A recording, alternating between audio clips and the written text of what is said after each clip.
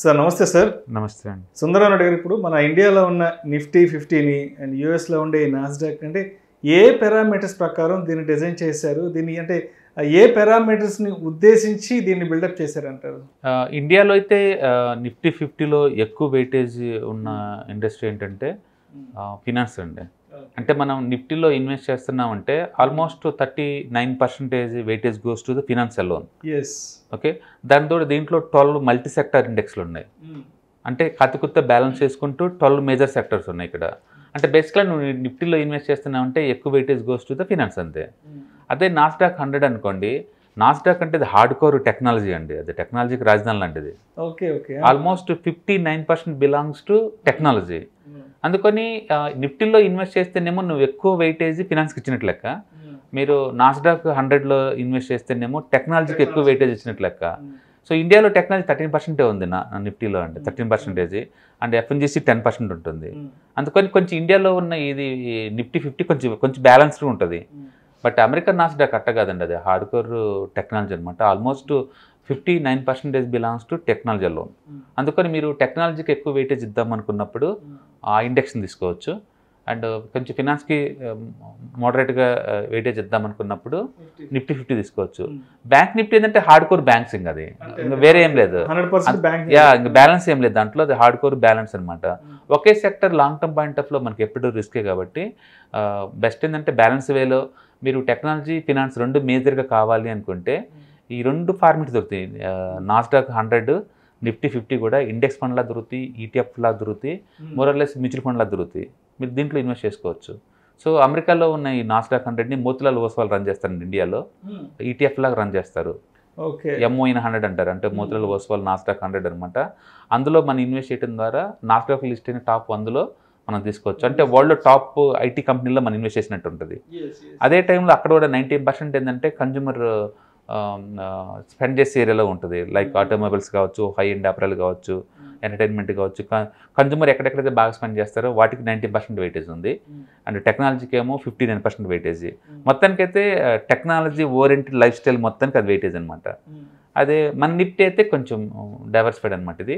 So మన నిఫ్టీలో overall thirteen percent IT weightage just థర్టీనే నాకు అట్లా కాదు ఐటీకి ఎక్కువ వెయిటేజ్ ఉండాలి అనుకుంటే కొంచెం వెల్ బ్యాలెన్స్డ్గా ఉండాలంటే నాస్టాక్లో పెట్టుకోవచ్చు.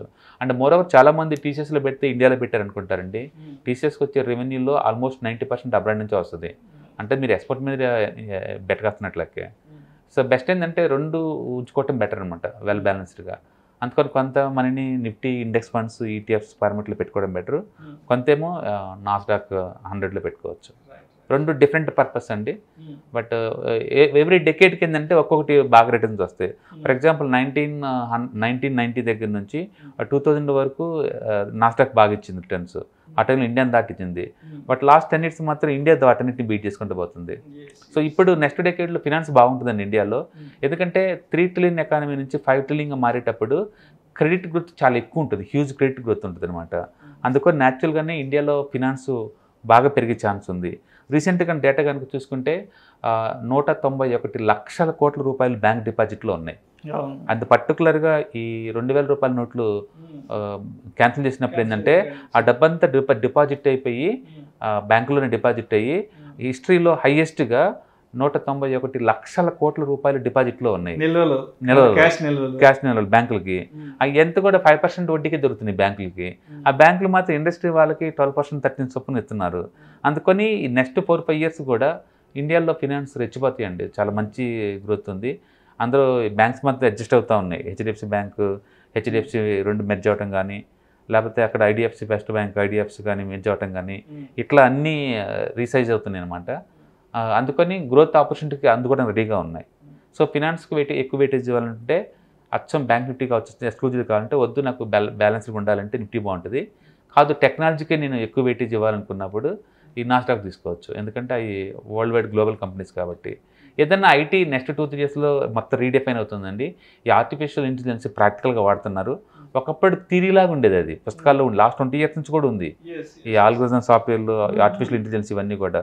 బట్ చార్ట్ జీపీటీ వచ్చిన కాడి నుంచి ఏంటంటే ప్రాక్టికల్గా వాడుతున్నారు కాబట్టి ఈ కంపెనీలో మ్యాన్ పవర్లో చాలా చేంజెస్ వస్తుంటాయి. ప్రొడక్టివ్లో చాలా చేంజెస్ వస్తున్నాయి అనమాట ర్యాపిడ్గా మారిపోయే థీమ్ అది. ఐటీ కంపెనీస్ ఈ మధ్య ఐటీ కంపెనీస్ ఇన్ఫోసిస్ టీసీఎస్ కూడా వాళ్ళకు ఉన్నటువంటి ఎంప్లాయీస్కి ఏఐకి సంబంధించిన ఈ ఈ టెక్నాలజీకి సంబంధించి ట్రైనింగ్ ఇప్పించడం కోసం కొన్ని లక్షల కోట్ల రూపాయలు ఖర్చు పెడుతున్నారు రైట్ ఎందుకంటే ఫీచర్స్ రెడీ అవ్వాలి. ఓల్డ్ ఓల్డ్ డేటా పనికిరాదండి ఇక్కడ. అందుకని అందుకని ఐటీ వర్సెస్ ఫినాన్స్ అని చెప్తే ఫినాన్స్కే బెటర్ ఎందుకంటే ట్రెడిషనల్ సెక్టర్ అండ్ ఇండియా మంచి ర్యాపిడ్ గ్రోత్ ఉంది కాబట్టి మనం తీసుకోవచ్చు.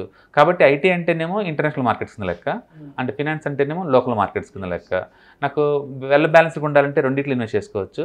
ఒకటే కావాలనుకున్నప్పుడు నిఫ్టీలో బెటర్ అనమాట థ్యాంక్ యూ సార్ రైట్